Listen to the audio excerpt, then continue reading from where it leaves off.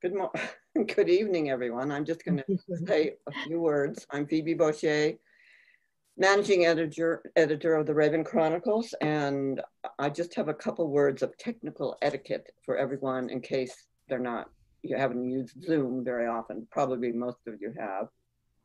Um, our engineer tonight is Tom Stiles, courtesy of Jack Straw Cultural Center. So thanks, Tom, for helping us out tonight. We really appreciate it. For a positive experience for everyone, please mute when everyone's reading. Just mute your, you know, mute yourself and turn off your phone or mute, mute your phone. Uh, if you're using your phone to, you know, zoom in, I guess you can't turn it off, but I, most of you aren't. Um, your videos will be, on, will be on all during this. If you want to turn them off, as you know, you can see everything. We just can't see your picture, but you can see everything going on.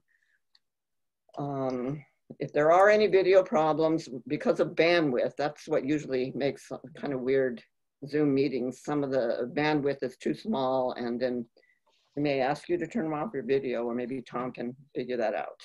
Use the chat function to send us a question to everybody. If you have a private question, just put it to private, the person you you want to talk to. Uh, and the reaction, you use that if you have, you know, have a reaction, positive or negative. And I think that's it. I just wanted to make sure everyone knew what to do. And now I introduce to you a good friend and wonderful poet and translator, Carolyn Wright. Thanks, Karen. Hello, hello, good evening, everybody. Uh, thank you for coming. Thank you for appearing here in the Zoom room. Um, welcome to Take a Stand, Art Against Hate, uh, the fifth online reading presented by Jack Straw Cultural Center and Raven Chronicles Press. Um, Carol, I'm Carolyn Wright. I'm a member of the Raven Chronicles Press Advisory Board, and this is one of many virtual events that uh, Raven Chronicles uh, we will be conducting over the next year as long as this pandemic continues. And this will be with writers and artists that Raven Chronicles has published or collaborated with since 1990, 1991. In fact, uh, a brief history is that uh, Raven Chronicles was established in 1991 uh, as a Seattle-based literary organization that publishes and promotes artist, artistic work and community events that embody the cultural diversity and multitude of imagination of writers and artists living in the Pacific Northwest and other regions of the United States. And it is certainly uh, an organization, a publisher that is committed to social justice, social change, envir environmental respect and respect for all people and Black Lives Matter. Uh, we would like to thank many of the sponsors of this beautiful book. Here it is, right here. You can see it quite clearly. Very appropriate that the artist who, who did the cover had the woman with a mask over her face. Um, that I was not intentional uh, I'd like to hear more of the story of that at some point. But we would like to thank the many sponsors of this and other Raven events this year. And these are Poets and Writers, 4Culture of King County, the City of Seattle's Office of Arts and Culture, and the Washington State Arts Commission with NEA, that's National Endowment for the Arts, funding for project support. And our moderator today will be Jesse Minkert, who will be introducing everybody who is reading. So take it away, Jesse.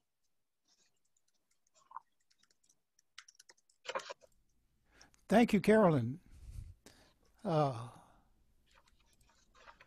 thank you, Carolyn, and thanks to Phoebe and Raven and the Raven Board for the honor of including my work in this anthology. I am further honored and delighted to serve as the moderator for this event, mm-hmm. to keep virtual company with these brilliant and accomplished writers, mm-hmm. and with you, our audience. Our first reader will be Catalina Marie Cantú. Mm-hmm. Catalina is a multi-genre, excuse me, Catalina is a multi-genre writer, mm-hmm. interdisciplinary artist, 2017 Jack Straw Fellow, and Voices of Our Nation, VONA, alum.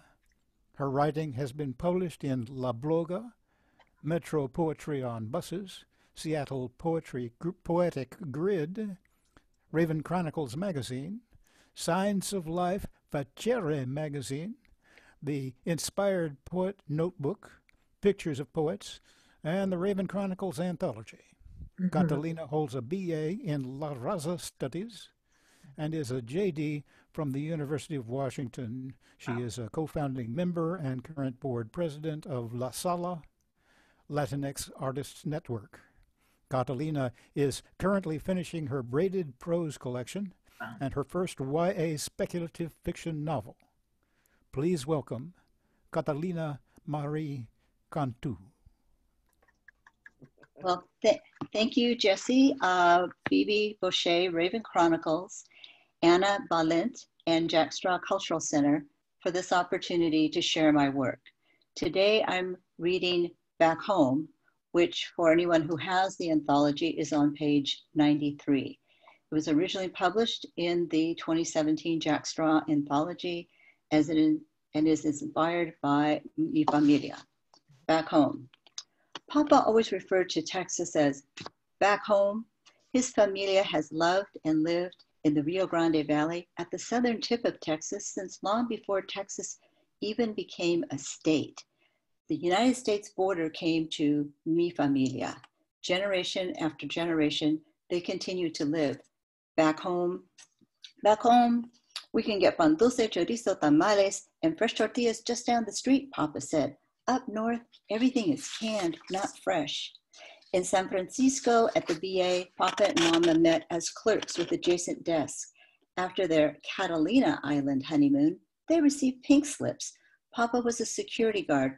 Mama was pregnant with me. Back home, Tio Gus owned a dry cleaning business, offered Papa a job.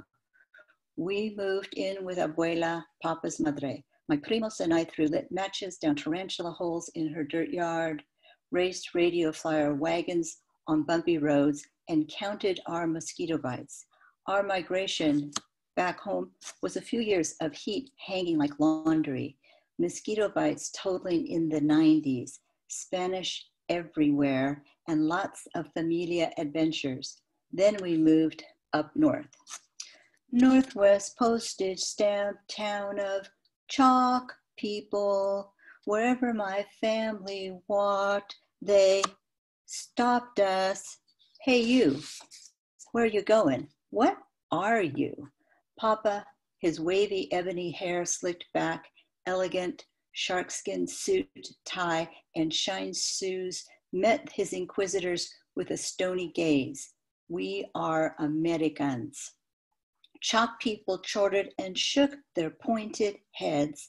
Really? Seriously? Where are you people from? We escaped that time. What did I care if no one looked like me, had a last name that ended in a vowel, ate Mexican food at home, must be invisible, invisible to their world, shy, skinny, a brown toothpick in a milk sea, bobbing to survive the Moby Dix. And the second piece I'm reading is on page 300, again, for everyone who is following along in the anthology. Page 300 is a beautiful piece called Strategies for Outlasting Trumplandia by Gail Tremblay. And I chose this before the election, ironically, for Gail's strong Indigenous voice and clear prose on survival. Strategies for Outlasting Trumplandia by Gail Tremblay. Lately, each day I wake to a world where the sun seems to rise over the eastern edge of this whirling planet that for millennia has made life possible, and I find things in chaos. I watch beautiful beings becoming extinct, forests burning, hurricanes destroying cities and islands, water polluted by chemicals, oil, and pesticides, polar ice melting, and coastal land consumed by the sea.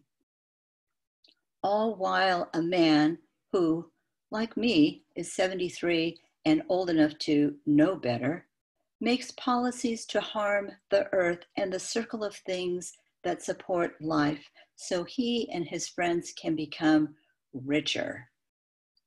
By stripping the land of resources we should never use if we are to sustain life for our grandchildren. The older I get, the harder it becomes to understand greed. The lack of grace and insatiable desire to devour that makes life bearable. I long to join with humans who every day thank plants for transforming the carbon dioxide we exhale and the light of the sun into the air we inhale and the food we eat. How, living among a million natural miracles, can any of us forget the delicate balancing act required to protect the systems that make survival possible? Each one of us needs to remember to give back to Earth more than we take needs to whisper into the ear of the mysterious universe and work ceaselessly to transform everyone's consciousness. So we can celebrate together the shift to a new way of living in harmony with this spinning orb we ride for thousands of miles in a great spiral path through the vastness of a space that even in our dreams we have barely come to know. Thank you very much. Jesse? And the next uh, reader. Thank you, Catalina. T. Clear is our next reader.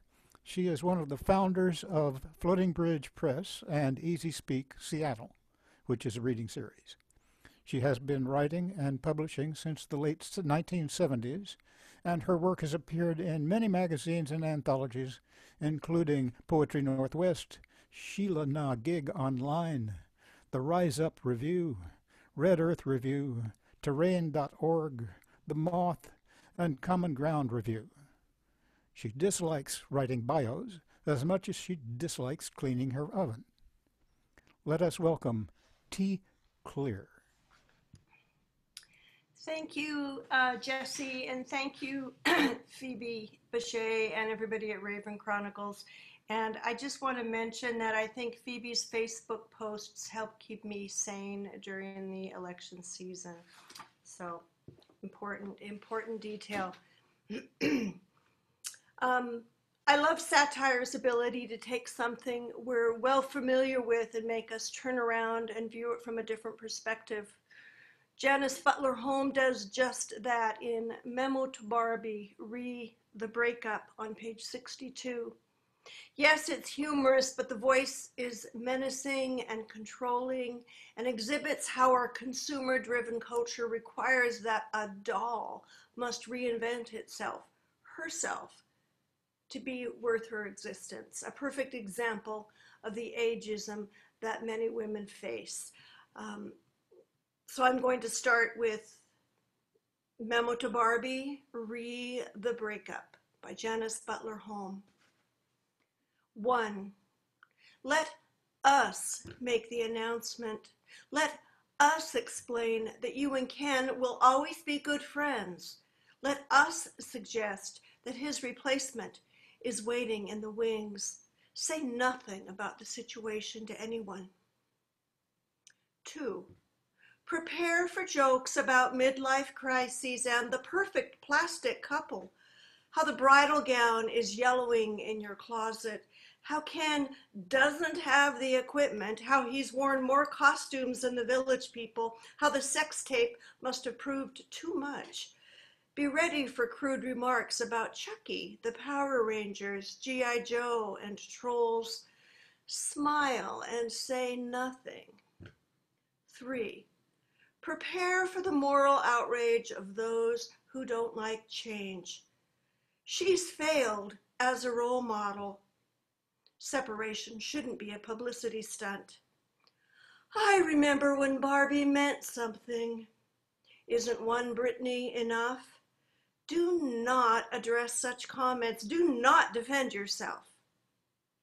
Four, get a makeover. Recall that you first won hearts in a swimsuit and tell yourself you can do it again. Think California, think beach bunny. Find the tiniest bikini top possible. Smile sunnily during photo shoots. Five, start selling yourself. Bring in the money now. Remember what that what you owe us. We made you. We own you. There are younger ones dying to take your place. Don't tell us you're tired.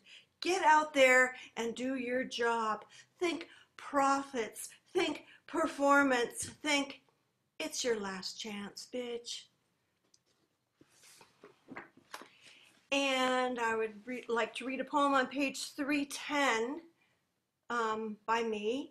Uh, I thought these two poems went well together for their commentary on women and men. When the patriarchy crumbles, instructions for men. Look both ways before stepping out of your car in the parking garage. Look both ways when you return. Check that the pepper spray is still in your pocket. Line up the trigger. Clutch your keys like a weapon, the tips extended between the fingers of your fist. Did you remember to lock the car? Check your back seat. Lock it now as soon as you get in. Look both ways when you step onto the sidewalk. Look behind you, look over your shoulder. Be wary of shrubs, parked cars, cars that slow down, unlit corners. Avoid alleys. Listen for footsteps. Walk with a purpose. Walk with power. Walk like you're 17 again and can outrun everyone in your class. Even when you're old and haven't run for years, walk like you can. Don't forget any of this. Don't become lax. Don't ever think you're immune. Don't question what you've been taught. Don't think you're the only one that's ever done this because women have done this forever to stay safe, to remain alive. It will become as routine as brushing your teeth, so automatic you won't even think of the keys jutting from your fist like daggers. Thank you. Thank you, T. Next is Paul Hunter. Paul Hunter is a Seattle poet, teacher, and letterpress publisher who worked on Indiana farms as a boy. His first farming book, Breaking Ground, 2004, Silverfish Review Press, was reviewed in the New York Times and received Washington received the Washington State Book Award. Three other volumes, Ripening, 2007, Come the Harvest, 2008, and Stubblefield, 2012, followed from SRP. He was a featured poet on the NewsHour, and the Small Farmers Journal published his prose work on small-scale farming, One Seed to Another, 2010. His prose poem autobiography, Clownery, appeared in 2017. His Texas cowboy novel is Sit a Tall Horse, 2020. I'd like to note here that I came to Seattle in 1981 with ink still drying on my MA as a sculptor. One day, looking for something to do in a town where I knew nobody, I saw something about a poetry reading at the Soup and Salad restaurant in the Pike Place Market. I went, and the first poet's voice I heard in Seattle was Paul's. Twenty-seven years later, in 2008, Paul published his first collection of prose, Flash Pieces by Me, with a title he suggested, Shortness of Breath and Other Symptoms. And 12 years after that, here we are. Now here's Paul Hunter.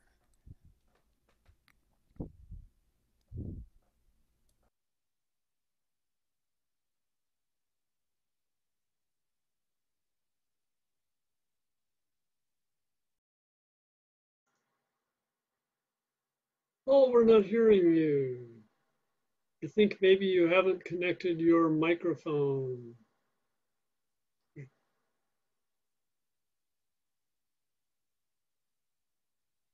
That would be in your audio settings. Somehow we didn't notice this before.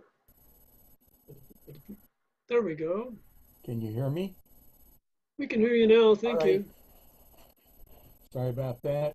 Page 136, the tar pit.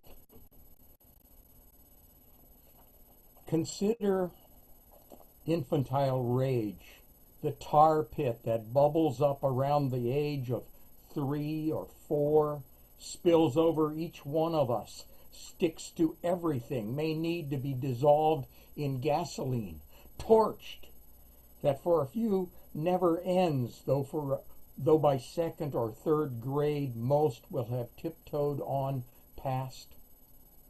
Yet here stands the smoldering child, impetuous, treacherous, fierce, feeling utterly wrong, stomping his little foot, shouting, I didn't want this one, I wanted the red one she got. That will not listen to reason, that understands only force, aimed outward at anyone else, where he stands shaking, glowering his sharp daggers, a tiny ruler barking orders at a universe that won't obey his commands, who cannot be deflected, turned back upon himself, since not just the war would be lost, the prince would be, would be burned to a crisp. This is the profound seat of hate lodged in each one of us. This is where enthroned it sits. It cannot be made likable. As with all absolute rulers, it craves only to be fed more of exactly what it knows it likes. Sure, the rest of the world could read its mind instantly if it would just pay attention, fetch on the run what's demanded.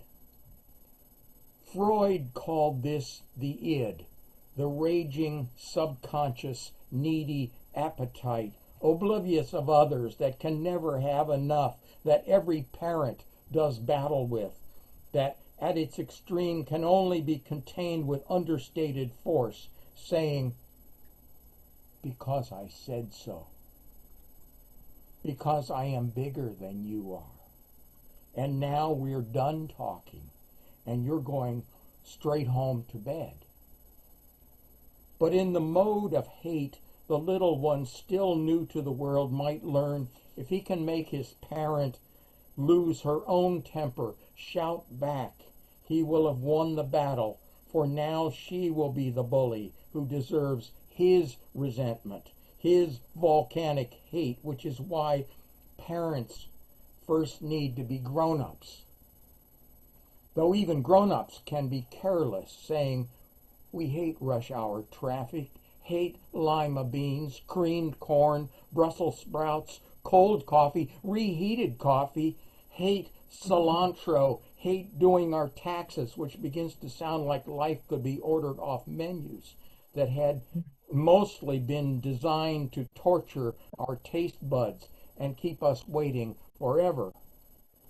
So when we are faced with real hate, the misplaced laser etched hate of the fearful infant overgrown, sulking, disappointed, wronged, who requires someone to blame, someone cowering beneath contempt, who has knowingly wronged him by re- reaching for that last donut or job he just spotted, or crossed the street against his arrogant horn, glaring high beams, who needs to be told and shown every time how you changed lanes with your burned out turn signal.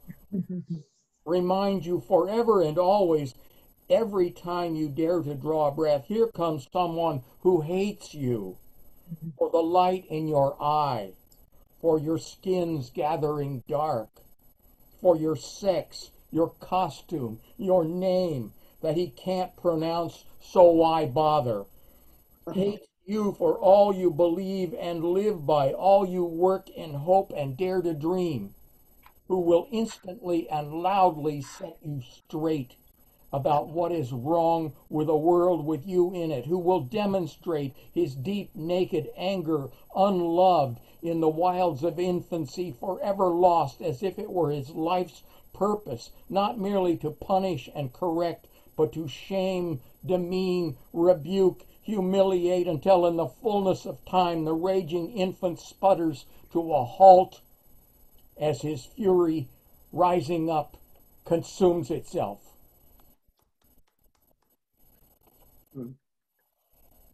And Okay. on a different, You- I, I have another piece, one other short piece on page 103.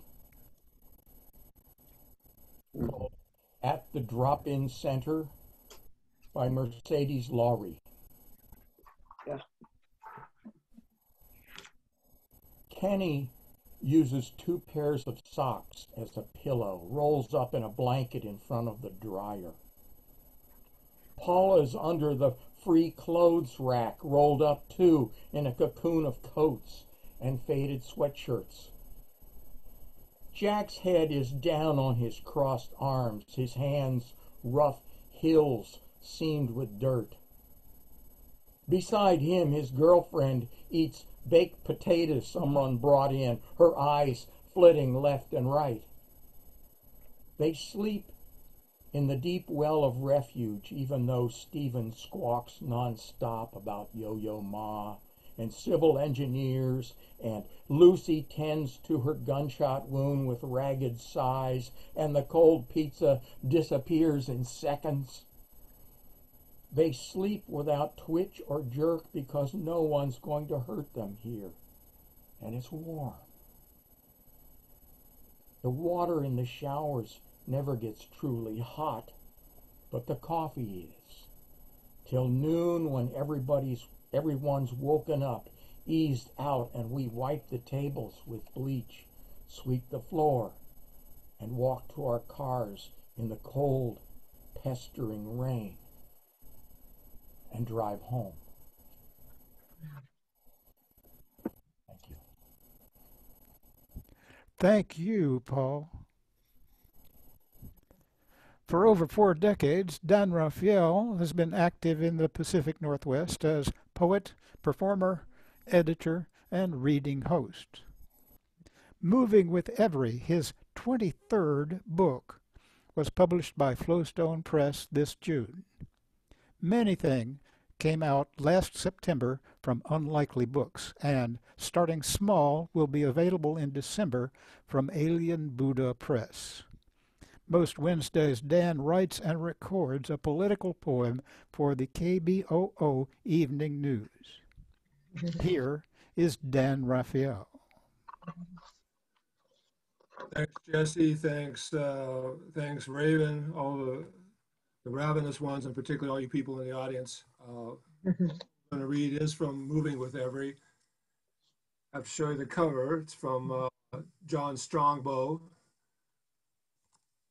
great S- Seattle artist who I happened to meet through Phoebe. So everything circles around.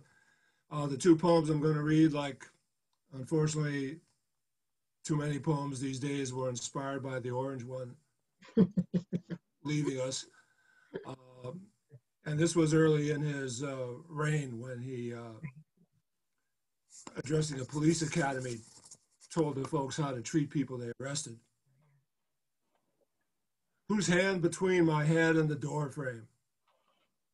Bang my head against the, hold my fingers to the flame, cry, run, drop and roll, fold into a tree, pray for instant night, for the transporter beam to reach me before the bullet. Each day's a little hotter. Night has given up on cooling, wind waiting for motivation, time turning sticky swamp aglow with memories, analgesic Photoshop. Pizza so complex, no one gets all the same toppings, has the same word for the same flavor. She says the cop was tall. He says the cop was average. The metaform, the unifold, anonymous knowledge, the edge of my knowing where the past and future show their tattered pixels, unraveling or not yet hemmed. I go to the bathroom, but nothing comes out. I look in the mirror, but it's the same headlines from three days ago. This threatened, that blocked, the five stupidest things I thought. If I was 20 stories above the ground instead of one, would the actual be any further? Deforested, plated, paved, cheek to jowl, no room to howl. How my clothes clothe me. Don't cover my head or shave it for full exposure. Put a mask on the back of my skull so you think I'm backing away. Does it matter if the policeman can hear? If he knows my language? So much stops when the cop stops you. The Constitution, common sense, the long crafted reins on my paranoia, on my sense of justice. Is it better to be unlabeled or not to be seen at all? If I don't drive a car, my taillight can't malfunction. My registration can't expire, and the time I spend on the bus is time vulnerable, unfamiliar. Soon police won't pull buses over. They'll reroute them to where none of us want to go. And the other poem I'm reading, I don't know, this question, you know, why did you choose this one? And it's kind of like, because I opened the book and here it was, and I couldn't, I didn't need to think of anything else to read because it's so wonderful. Uh, the Wall by Anita Endrezze on page 260 forgot that part. All of saguaro, butterflies, and bones of those who perished in the desert. A wall of worn shoes, dry water bottles, poinsettias. Constructed of gilded or crazy house mirrors so some can see their true faces. Build a wall of revolving doors or revolutionary abuelas Make it as high as the sun, strong as tequila. Boulders of sugar skulls, adobe or ghost. A Lego wall or bubble wrap, bubble wrap. A wall of hands holding hands, hair braided from one woman to another, one country to another. A wall made of Berlin. A wall made for tunneling. A beautiful wall of taco trucks. A wall of silent stars and migratory songs this wall of solar panels and holy light, panels of compressed Cheetos, topped not by barbed wire, but sprouting avocado seeds, those Aztec tes- testicles, Aztec testicles. Say it three times. A wall to keep us in and them out. It will have faces and heartbeats. Dreams will be terrors. The wall will divide towns, homes, mountains, the sky that airplanes fly through with their potential illegals. Our wallets will be on life support to pay for it. Let it be built of guacamole so we can have a bigly block party. Mortar it with chocolate, chocolate. Build it from coyote howls and wild horses drumming across the plains of Texas, from memories of hummingbird warriors and healers. Stack it thick as blood, which has mingled for centuries. La vida. Dig the foundations deep create a 2,000 mile altar lit with votive candles for those who have crossed over, defending freedom under spangled stars, and drape it with rebozos and sweetgrass. Make it from two way mirrors. The wind will interrogate us. The rivers will judge, for they know how to separate and divide to become a whole. Pink Floyd will inaugurate it. Ex Presidente Fox will give it the middle finger salute, while the coyote will run headlong into it and survive long after history forgets us. Bees will find sand scarred holes and fill it with honey. Heroin will cover it in blood, but it will be a beautiful wall, a huge wall, Remember to put a rose strewn doorway in Nogales where my grandmother crossed over, pistols on her hips. Make it a gallery of graffiti art, a refuge for tumbleweeds, a border of stories we already know by heart. Thank you,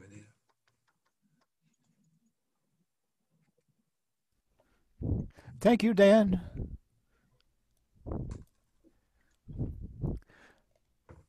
Next reader is Susan Rich. She is the author of five books, most recently Cloud Pharmacy, shortlisted for the Julie Suk Prize.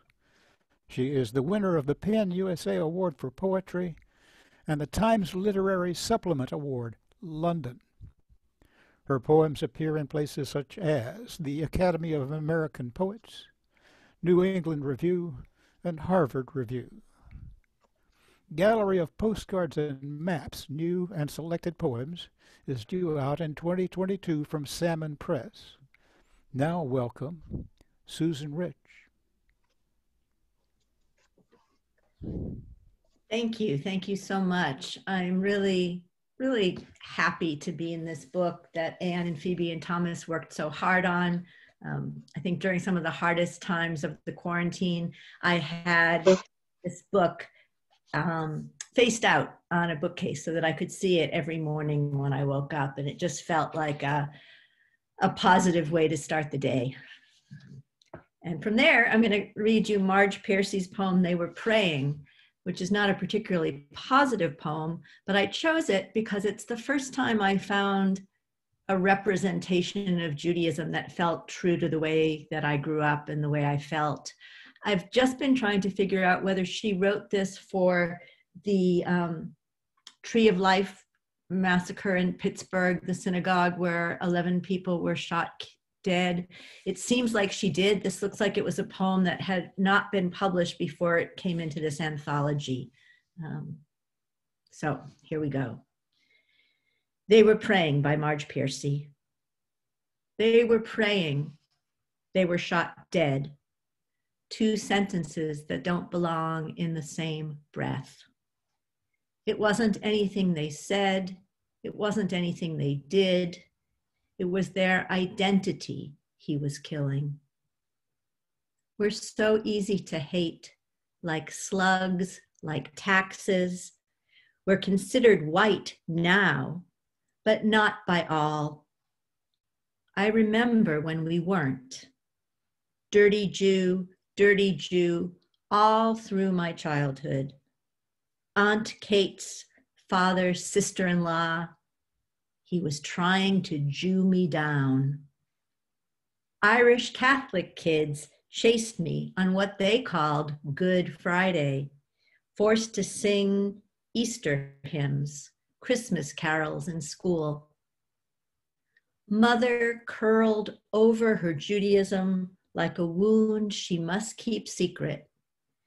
These years we tend to be out, even proud. Now that could kill me. Little Hitlers abound. It's back. I'm glad I'm old.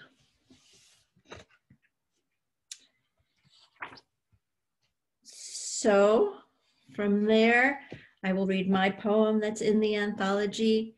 It's called For the First Time I'm Afraid. And it might be helpful to know just a tiny bit of background. And that is, I teach at Highline College, and once a year, sometimes twice, we have nationally famous poets come to the college and give workshops for students and teach and i and read and i get the joyous job of being their chauffeur for the day and so i've, I've gotten to spend a lot of um, traffic stops with some famous poets, and I'll just say this was one of those poets. Poems called For the First Time I Am Afraid of My Country, I Say. And he says, Yes. He who has not taken his safety for granted does not shame me for only understanding this now. We navigate the broken interstate, eyes focused on our near future, and the shape of the talk continues on, civil, in slow drawn twists and turns, past green exit signs and a floating bridge that disappears across the lake behind the cut. Two complete strangers portrayed in black and in white, driving our nation's highway in the rush hour of late spring. Thank you.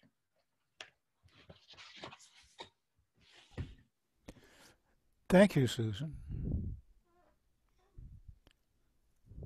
Carolyne Wright's most recent books are the dream, excuse me, This Dream the World, New and Selected Poems, Lost Horse Press, 2017, whose title poem received a Pushcart Prize and was included in the Best American Poetry 2009 and the award-winning bilingual volume of Chilean poet Eugenia Toledo, Trazas de Mapa, Trazas de Sangre, Map Traces, Blood Traces. Mayapple Press, 2017. Wright co-edited the groundbreaking anthology Raising Lily Ledbetter, Women Poets Occupy the Workspace, Lost Horse, 2015. A Hugo House teacher and contributing editor for the Pushcart Prizes. Wright has received awards from the NEA, 4Culture, the Fulbright Program, and the Sacatar Foundation. Welcome once again, Carolyne Wright.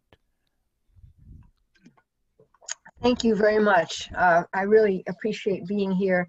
Thank you to Phoebe and Anna and everybody who has uh, contributed to this anthology and worked on producing it, putting it together, and just choosing the work and the beautiful uh, illustrations and artwork within it.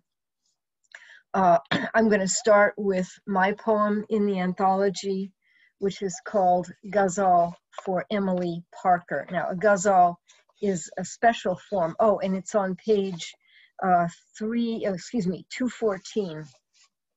A ghazal is a, is a special form that originated in the Middle East and South Asia. And you'll hear there's repetition in it. Uh, and in this case, the repetition is the word Portuguese.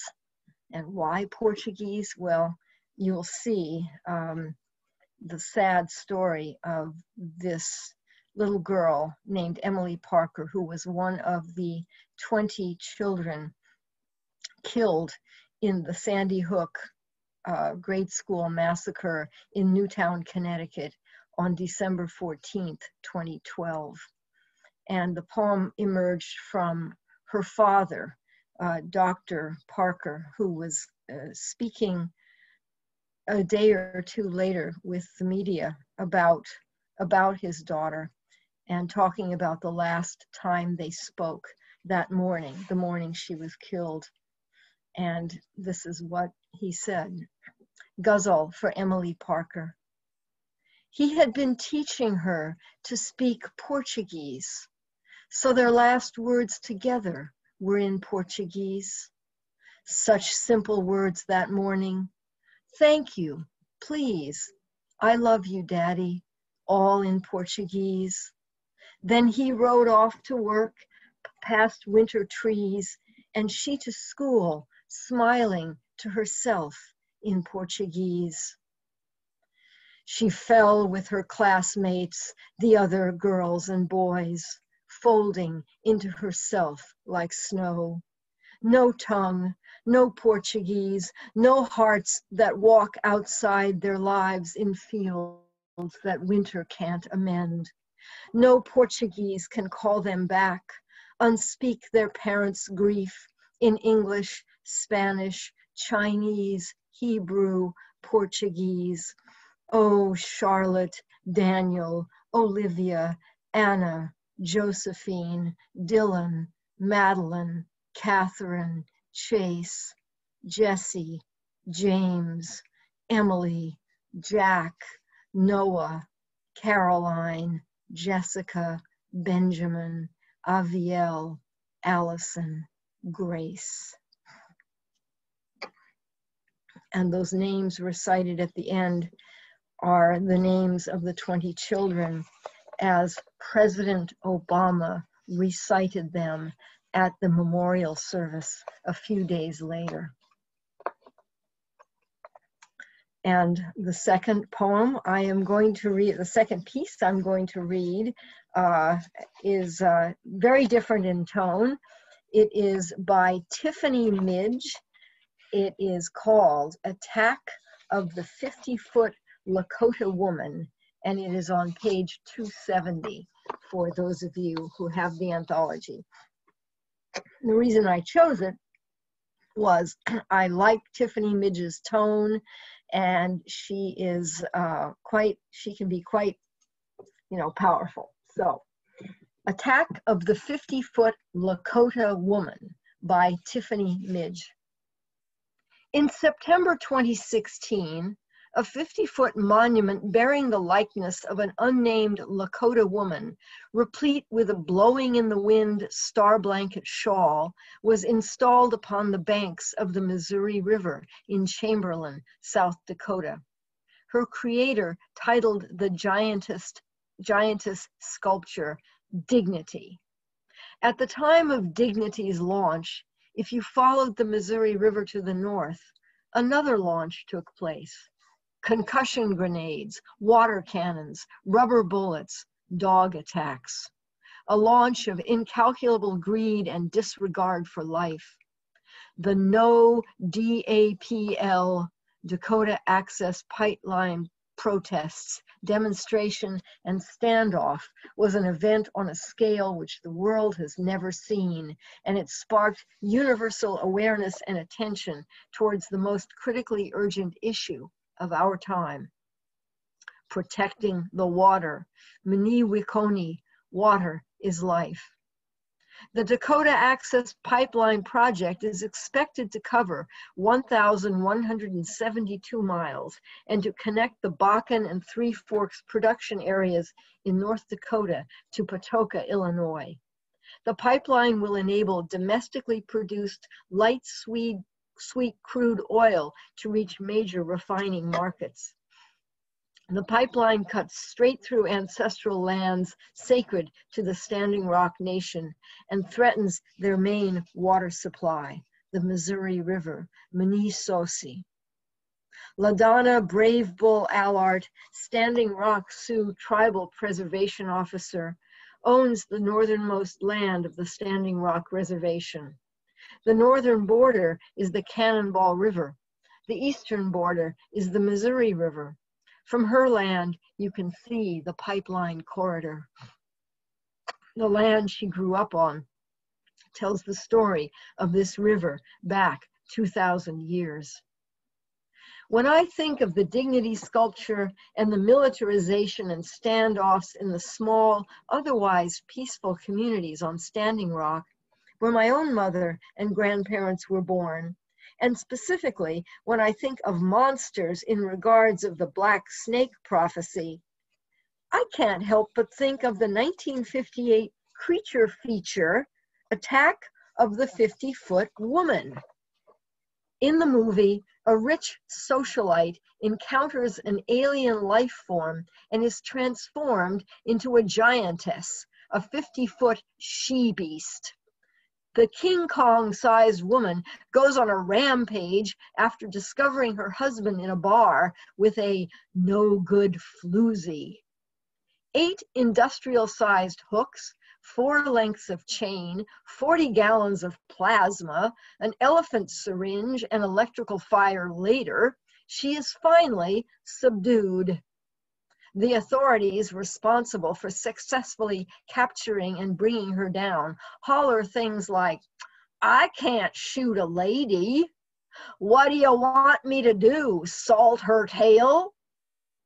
In my reveries, the dignity sculpture breaks from her foundation, secures the blue star quilt firmly around her shoulders, and follows the Missouri River north to Cannonball, up to the Oceti Sakowin, seven council fires straight into the heart of things and gets to work killing the black snake. In my reveries, the authorities do not succeed in bringing her down. Eight industrial sized hooks, four lengths of chain, 40 gallons of plasma, an elephant syringe, and electrical fire. In my daydreams, she is not defeated, but victorious and freeze framed eternally, despite concussion grenades and dog attacks, water cannons, and rubber bullets. The land she grew up on tells the history of this river back 2,000 years. What stories of this river will be told in 2,000 more? Thank you. Thank you, Tiffany Midge. And now uh, I am going to in introduce, uh, it is my pleasure to introduce our final reader and moderator, Jesse Minkert. Jesse has been the executive director of arts and visually impaired audiences. Jesse and Avia, or AVIA, with the Jack Straw Cultural Center have worked with blind school-aged children on audio arts, the Blind Youth Audio Project, annually since 1996. This year it happened for the first time online. Jesse's poems and stories have appeared in about 70 journals, including Confrontation, Floating Bridge Review, Poetry Northwest, and Harpur Palate. In 2008, Wordworks, Woodworks Press published his collection of flash fiction, Shortness of Breath and Other Symptoms. In 2017, Finishing Line Press released his poetry chapbook, Rookland. So take it away, Jesse. Thank you, Caroline.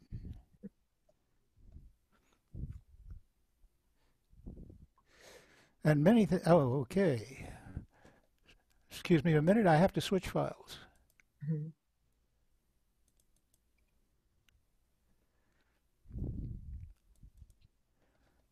Okay. My contribution to Take a Stand, Art Against Hate is on page 59. It is called Grounds for an Investigation.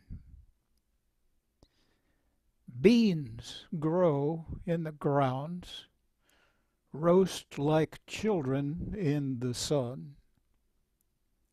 Beans dark and dry, come home, come home to my grinder, soak in heat and hope like children on the border.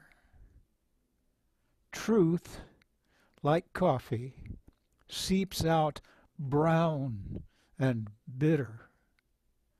Lies, like sugar, will be added later. And now I'd like to read a piece by someone with actual authority on this subject. On page 176, Claudia Castro Luna, Washington State Poet Laureate, February 1st, 2018 to January 31st, 2020. Her title is I See Myself and Courage and Hope in the Faces of the Caravan, November 5th, November 9th, 2018.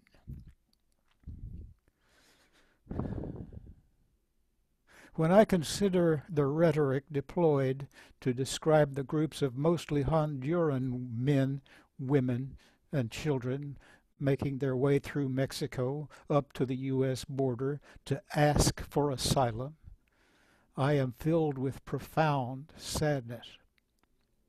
Words such as invaders, violent, and vicious counter what I see in the faces of mothers carrying babies in their arms, in toddlers collapsing from exhaustion, in the stance of women walking all those miles in flip-flops, in men whose eyes betray desperation and anxiety. Perhaps I see vulnerability and despair where others see aggression and cunning because I came from one of the countries these asylum seekers are fleeing.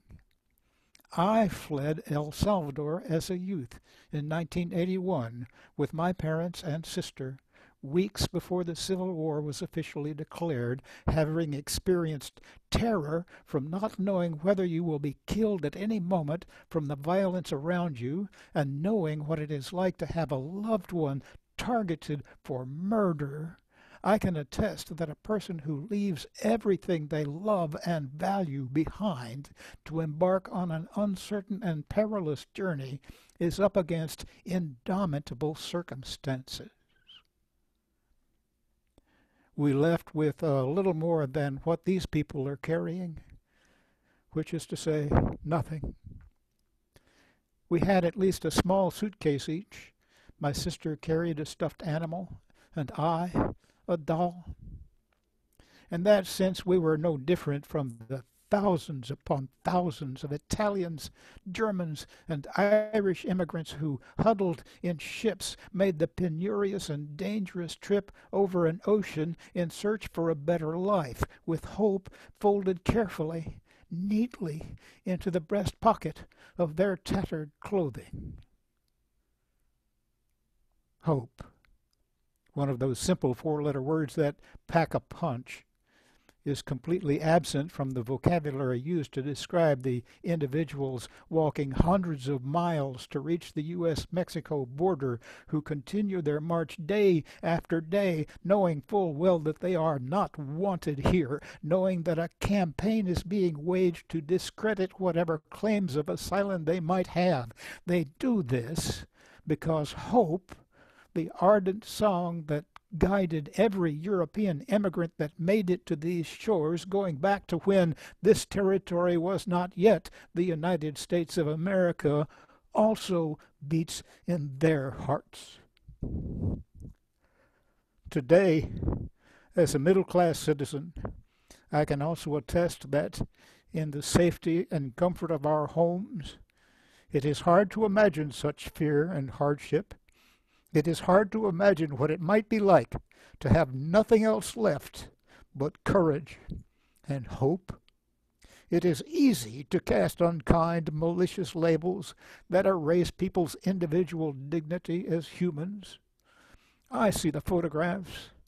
I read newspapers. I am on Twitter. And what comes back to me again and again is the golden rule I see myself in the faces of the folks on the caravan, a terrified fourteen year old holding on to my mother's arm. I am no different from them, and by extension, I know that among them are future professors and doctors like my Honduran friends who arrived in the U.S. at roughly the same age I did. Among them are nurses and small business owners like my cousins, and poets and writers like myself. Words bear different weights. When my family arrived in the U.S., the Evening Times, a Florida newspaper, wrote a story with the headline America offers one family a chance to forget fears. Our story was framed as America offering us something a chance like thousands from the old continent, we took it gratefully and squandered not a crumb. I say the tired, poor, and wretched making their way through Mexico up to our southern border would do the same.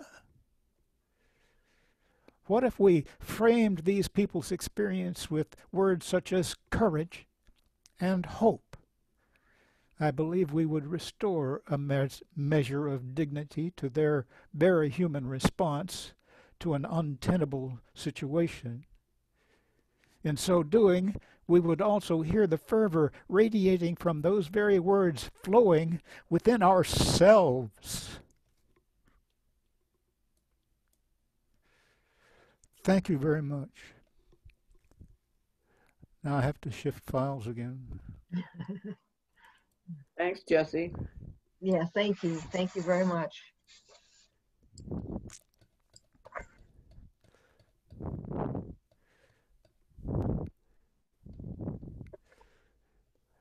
Thank you, Carolyne. Yeah. And thank many you. thanks to all of the readers tonight. Yeah. Yeah, this was concludes tonight's group readings. From here, we will do our best to answer questions you have If posted anybody in the has any questions, yeah. Carolyne has prepared a list. She will serve as moderator for the Q&A. Thanks very much for joining us. I'm glad we're all here. Yeah, me too. It's wonderful to be with everybody. Yeah. Uh, I haven't, I haven't posted any questions in the chat yet, but uh, I can start with a question that uh, I think it would be great if, if uh, we could wonder, somebody, oh, somebody has a question. I'll start with that question. Alan Braden is asking, what's next for Raven Chronicles Press? Yes. Well, I guess I can answer that. Yeah. Um, I would like to hear from Anna too about what, you know, uh, since she was, she and I are the principal person, people that put this uh, anthology together. uh, we, right now, we're working on, uh, Cat, we're republishing Kathleen Alcalá's, the very first in this trilogy, Spirits of the Ordinary, which has been, it's been like 20 years when it came out and it got, you know, tremendous reception, but we're public, republishing it with a new forward and uh, we just finished doing the ebook of it and we've never done an ebook before. So and that's coming out in may of next year. Mhm. uh, but we're also just starting um, and is anna linzer still there? She might have left. But she is one of the editors of the second anthology uh, not not the anthology about our first anthology to get we put together work from 1991 to 1996 Mhm. And the next 10 years we're working on that and that's going to be our second kind of but it's not going to be 500 pages. That was ridiculous.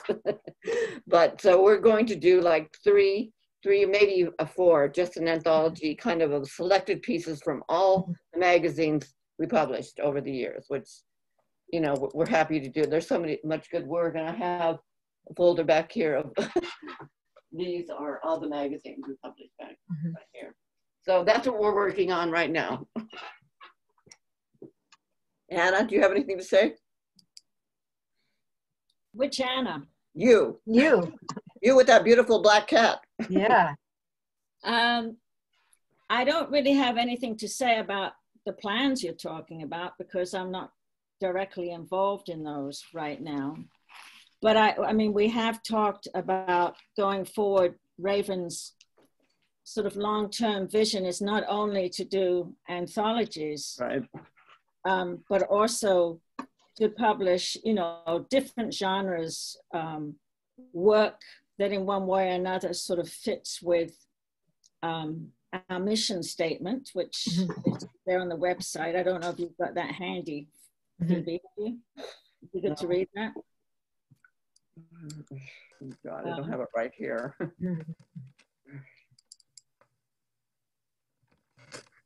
I, I read a sort of a version of it from the um, from the acknowledgments page uh, or the uh, the copyright page when I first started about how how Raven was established and what its mission is. This is our, our new mission, um, kind of we put together just recently. Um,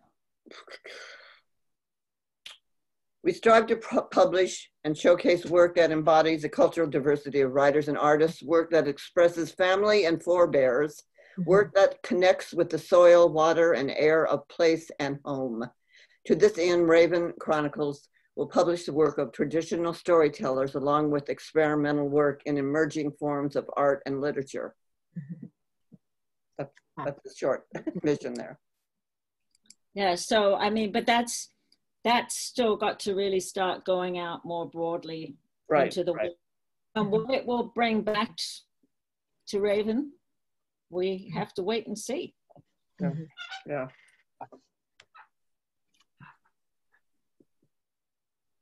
um, I had a I had a sort of a question, um, given the fact that this anthology, "Take a Stand: Art Against Hate," was put together in response to uh, the four terrible years of this regime that has been ongoing and we hope is really going to come to an end in January. Um, what will be, uh, how will Raven's vision shift to accommodate and enfold the new administration and all of the work that we all must do in order to heal from what we've all been going through.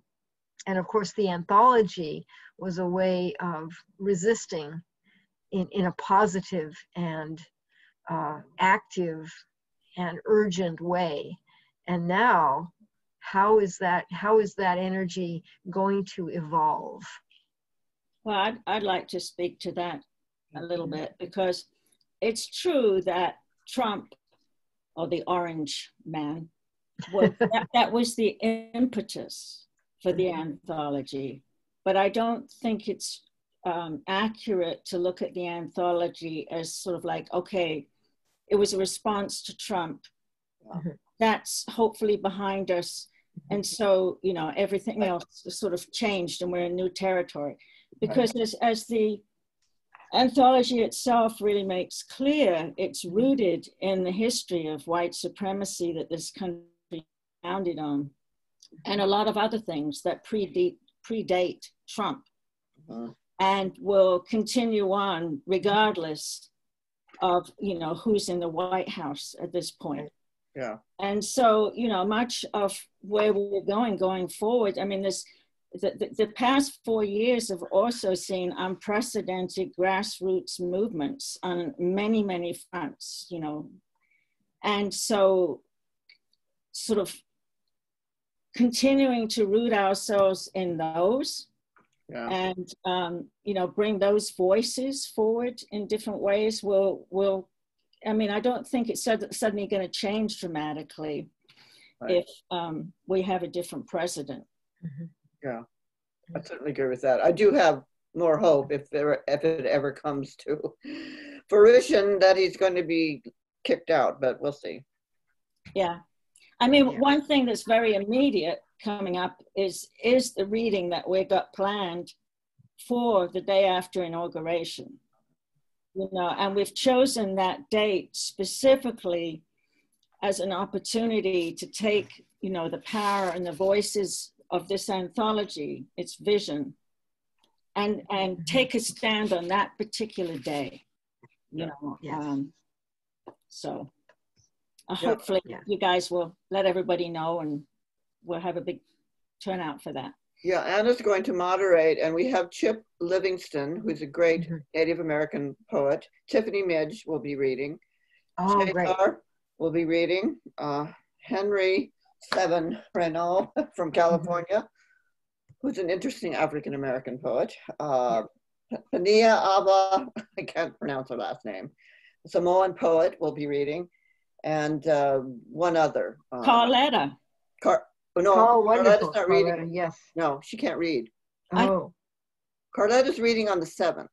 Mm-hmm. Ah. We're talking about the inauguration. Okay. I, I your text yeah. confused me earlier. yeah, Carletta uh, can read on the, she can't read because she's going to uh, be working at the library. And this reading on mm-hmm. the day after the inauguration January 21st. um, she's still working for the library. And it, this reading is going to be hosted by the Seattle Public Library and Seattle City of Literature. Mm-hmm. So that's why Carletta can't read because she'll be working for the library and there's a conflict. Of, yeah.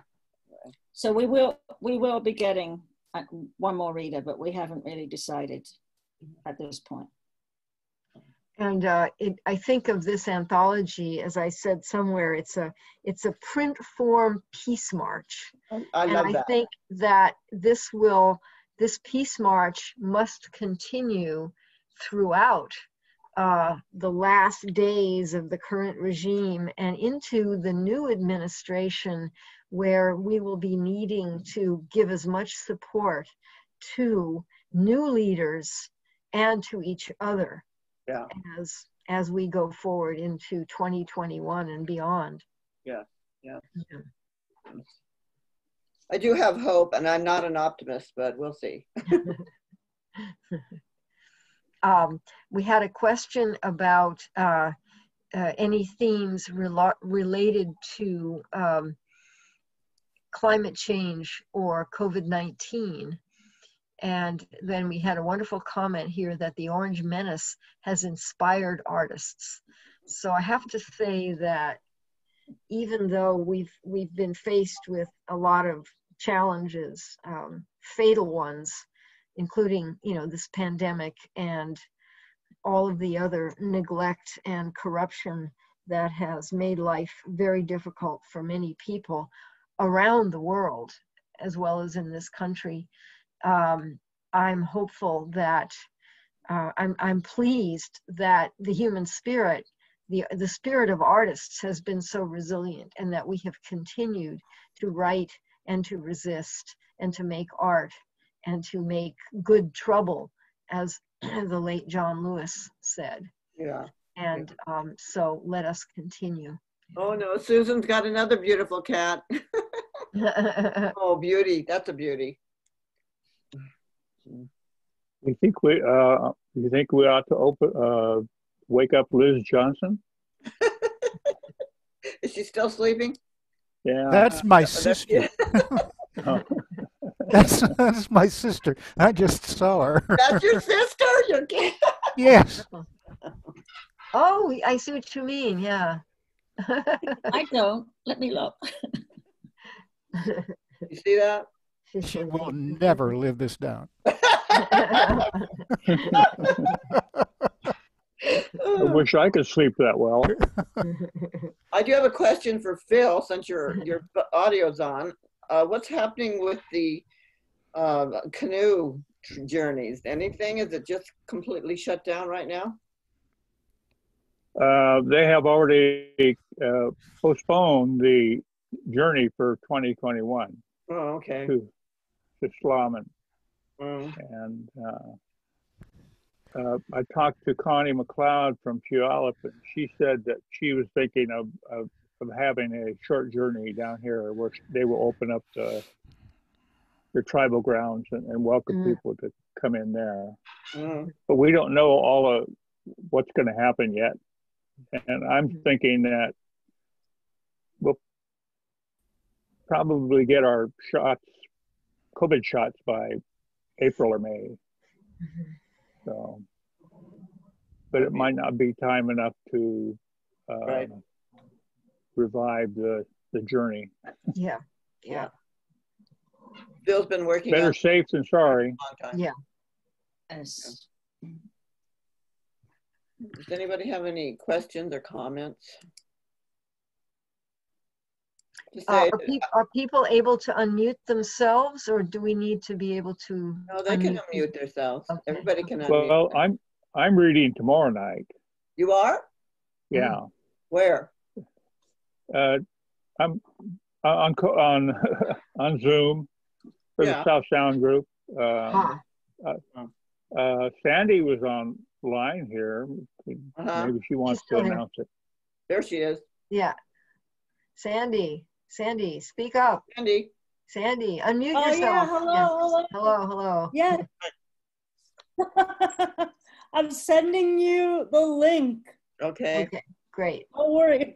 Uh, yeah, tomorrow night Mhm. is the Poetry Network, and we're hosting a reading.